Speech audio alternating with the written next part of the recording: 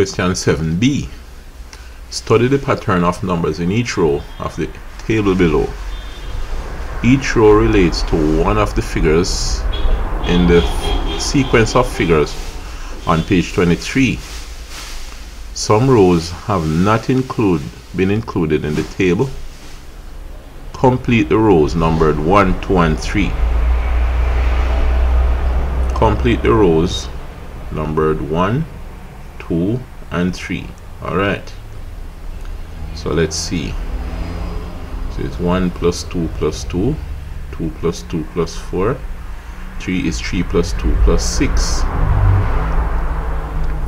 The length of the outer lines of unit length. The length of the outer line of unit length. Let's look at part 1.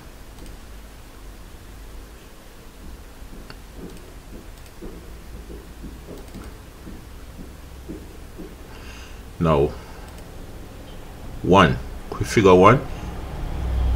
You have one two one plus two plus two. It looks like that. Let's see. One plus two plus two. Okay. Figure two. One two plus one two plus one two three four. So that's 2 plus 2 plus 4 then figure 3 3 plus 2 plus 6 let's see. 1 2 3 plus 2 plus 1 2 3 4 5 6 so that's 3 plus 2 plus 6 suppose there was a figure 6 now. Notice here. 1 it start with 1 2 start with 2 3 start with 3 now I would expect 6 to start with 6 so it would be 6 plus no plus 2 only two sides. No it seems as if no matter how many sides you have no matter what figure this is there's there will be only two sides alright? Let's look at figure 4 again quickly. You have this 1 then two three four that's 1 with dots going up 2 with dots going up 3 at the bottom and then 4 so you always have only two sides. This represents this these two represents the two sides so what I have here is 2 plus now it seems as if these numbers at the end are double the number of the figure 2 figure 1 you double it to 2 figure 2 you double it to 4 figure 3 you double it to 6 is that really the case? Figure 1 there is two. Um what would you call this? The sides of the roof. Two sides of roof. Figure 2 1 2 3 4 figure 3 1 2 3 4 5 6 right it seems so. So in each case you double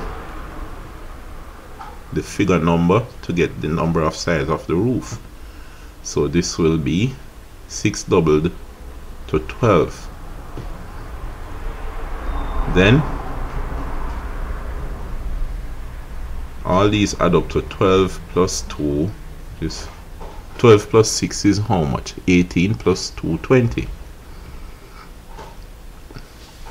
now this says the total is 65 65 if you have a total of 65 how do you get back to the figures?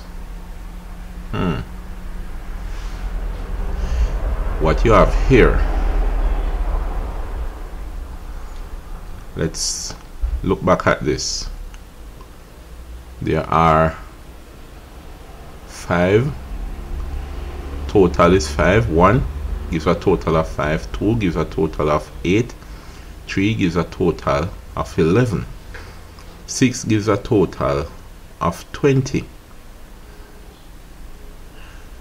now if I should come up with an n for a figure n n is equal to n plus 2 plus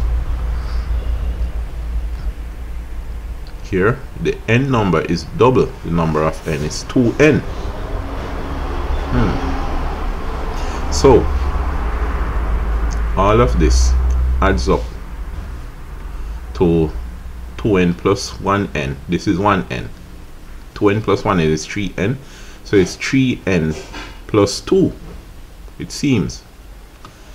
Let me see 3 times 1 is 3 plus 2 is 5 3 times 2 is 6 plus 2 is 8 3 times 3 is 9 plus 2 11 3 times 6 is 18 plus 2 20 seem to be working so far.